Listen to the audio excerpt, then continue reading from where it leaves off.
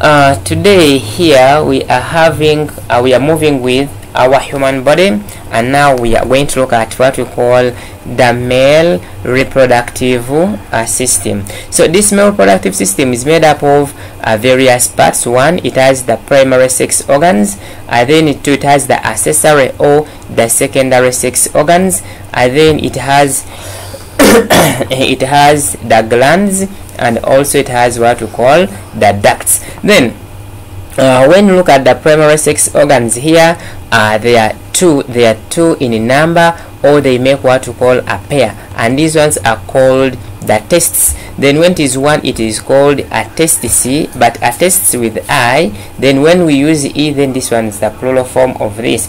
Then this um, uh, the pair of testes then we have the secondary the secondary organs. And then we have the glands. Under the glands we have what we call the prostate gland. We have the smallest glands here which we call the Cowper's glands. And again we have what we call uh, the Cowper's glands. And then we have what we call the semina, sema, seminal uh, vesicle uh, seminal vesicles uh, seminal vesicle glands. Then under the ducts we have what we call vas deferens a vas deferens can it is also called the vas deferens a vas deferens or we can call these ones the sperm ducts. Then you have other accessories as in uh, what you call other um, uh, the, the, the, the, the, the sexual genital which is the penis here.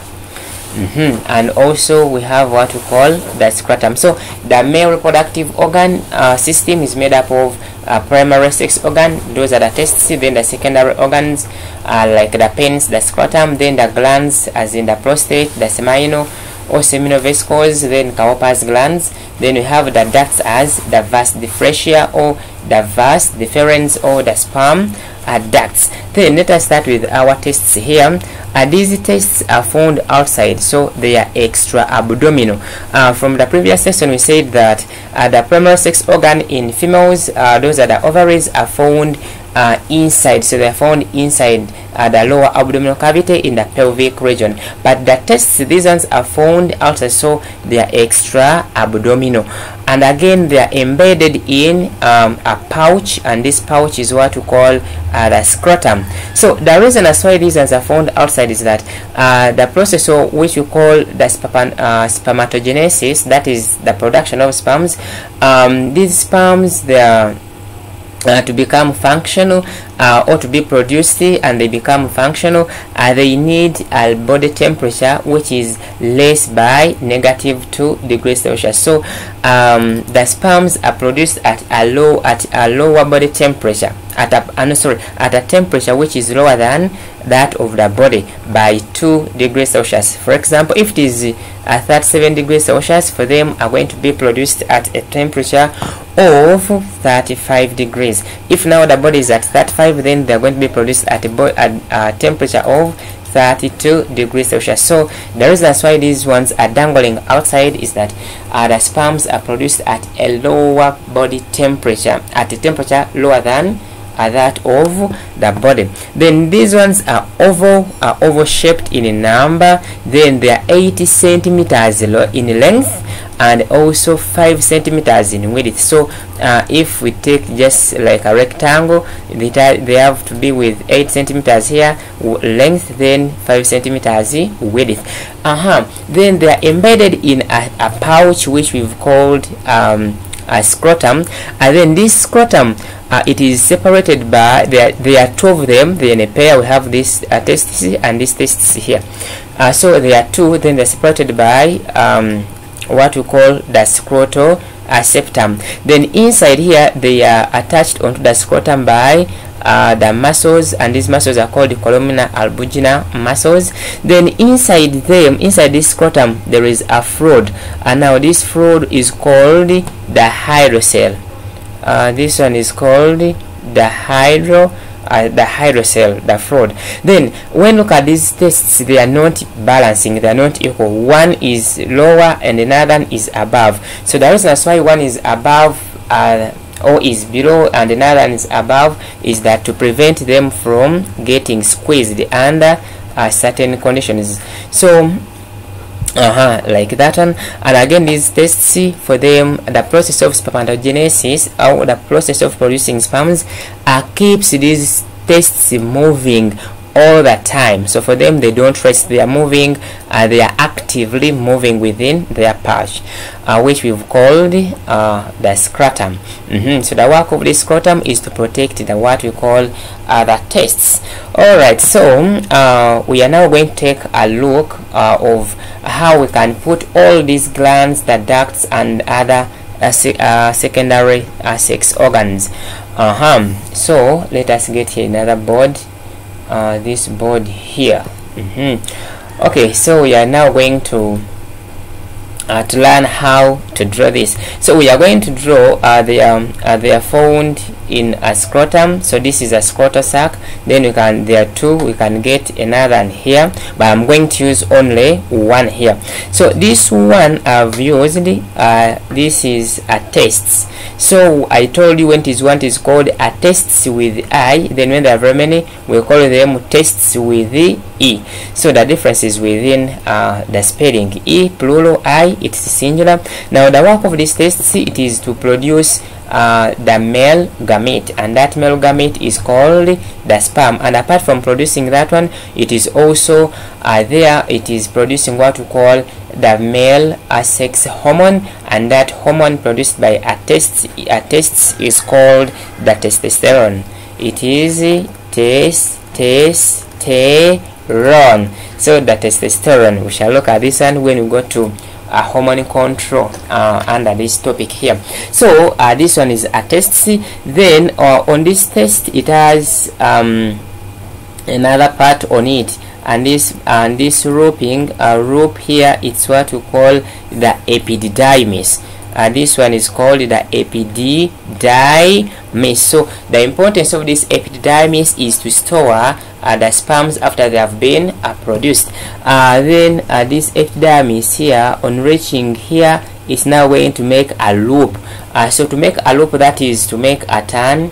So it is an, a narrow tube. So and this is the it has made a rope. So as it makes a rope so this rope which has been made here it is now what we are going to call the van the vas deferentia uh, vas deferentia or the vas deferens or what we call the sperm duct. So meaning that now from the epidermis here let me make this one thicker aside that we get to know uh, this one is the sperm store. So it is called the epiduat epididymis this is the testis then this part here it is the epidermis then this one is the vas deferentia or the vas deferens the sperm duct. Then this uh, sperm duct is going to go um, uh, until it reaches what we call the abdominal cavity inside there.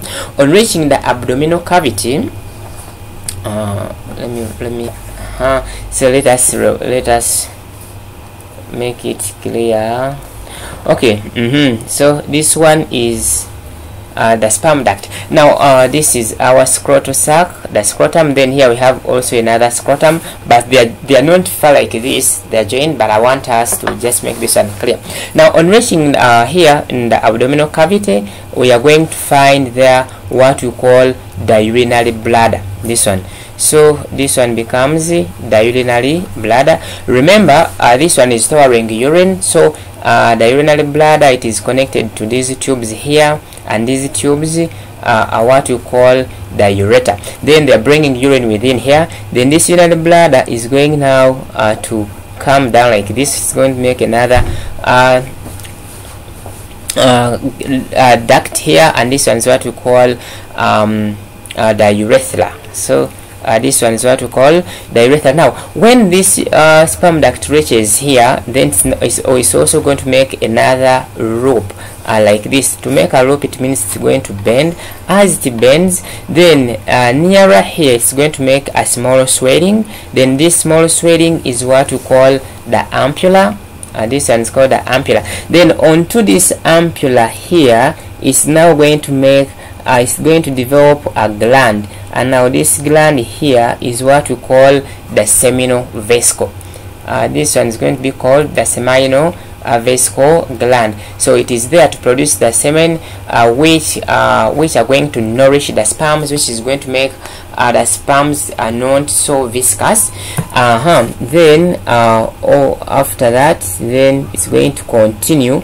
Then as it continues it's now going to connect to the urethra. Now as it connects to the because even we have this one from another another sperm duct here then as they connect the urethra uh, we are now going to move down like this. Now this gland uh, where this um, uh, this sperm duct of vas deferens is connecting to the urethra here is now going to be called ejaculatory gland.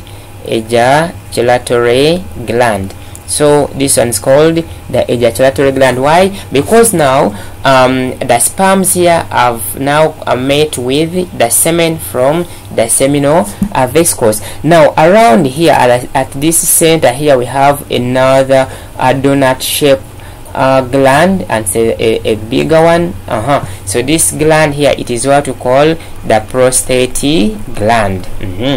uh, this one is called the prostate gland. And then uh, here this urethra when now uh, at this junction then the sperms are going to come in then at the same time urine. So uh, this this is the urethra but now at this area here the urethra will be now carrying uh, both sperms and urine. Then it is called urinogenital urinogenital uh, duct. Oh yeah urinogenital duct meaning that it can conduct both the urine at the same time as sperms. Then uh-huh it's now going to come up to here. Then when it is coming uh, at, at this level we are now going to get uh, the sex organ. Uh, this is what we call the penis on reaching is going to become uh, swollen. It is making the, the head. Then at this uh, end of this penis where it is starting from we have small glands and these small glands here we call them the Cowper's gland. So we are calling them the Cowper's glands. Then this one becomes um, the urethra. Then this is the sheath or the foreskin. Uh, the sheath or the fore the foreskin here. And then uh, this one uh, becomes uh, the penis which is used during the copulation. Alright so this one is the um, uh, the, the, the detailed diagram of the female oh sorry of the male reproductive system. So this is the scrotum. Inside the scrotum we have that fluid which we called the hydrocele. Then this is the testis epidermis. Then uh, this is the van deferens. Then this is the Cowper's gland. Uh-huh. Cowper, sorry sorry the seminal vesicle gland. Then this is the urinary bladder ureters. Then this is the prostate gland. Uh, at this junction this swelling is the ampulla. Then this is ejaculatory gland then this is the penis the sheath uh, or the foreskin and then these are the Cowper's uh, gland. So practice drawing um, uh, this uh, diagram uh, in the notes given in the link there. Okay question number one.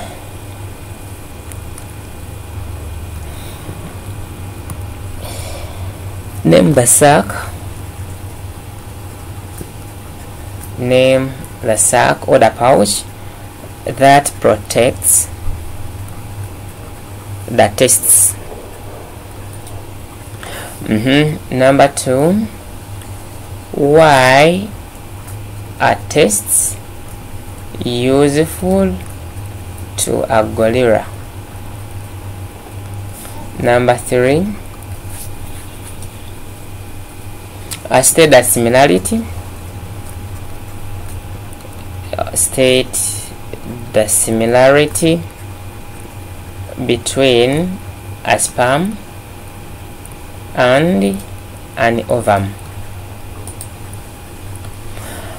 Number number four define the term fertilization. Number five how useful is a scrotum to a baboon? Number six state the role played by the penis during reproduction mechanism or process. Number number 7 what is asexual reproduction? Number 8 draw and label the parts of a male reproductive system. Number 9 how useful are the following parts of a female reproductive system? 1 vagina 2 uterus 3 cervix. So you've been a good learner. We meet in the lesson 17